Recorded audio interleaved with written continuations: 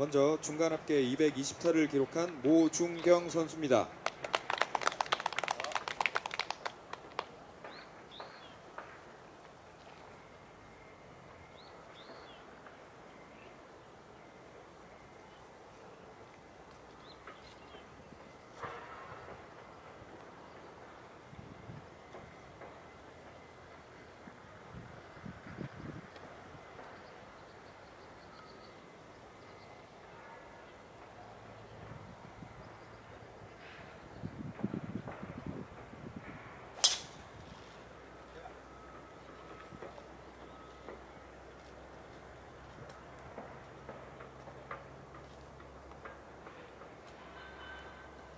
이어서 중간 합계 220타를 기록한 이형준 선수입니다.